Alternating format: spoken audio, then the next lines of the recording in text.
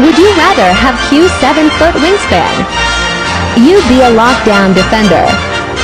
Mikey's 1143 millimeters of bounce. Punch on everyone. Or Antonio's elite handle. No one could stay in front of you. Too easy.